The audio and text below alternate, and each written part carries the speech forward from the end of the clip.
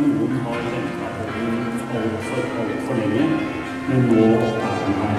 Gratulerer og gi dem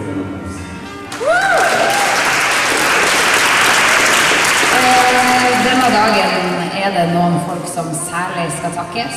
Det er noen folk som har gitt mye av livene sine, mye historie og eh, mye av kunnskapen sin for at vi står her i dag.